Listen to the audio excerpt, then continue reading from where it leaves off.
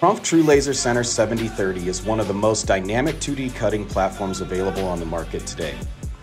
The 7030 was created with the intention of developing a self-contained unit that will perform around-the-clock production with limited operator interactions. Trumpf has been able to achieve this goal by creating an all-in-one complete process machine that solves known issues and inefficiencies within the 2D cutting process.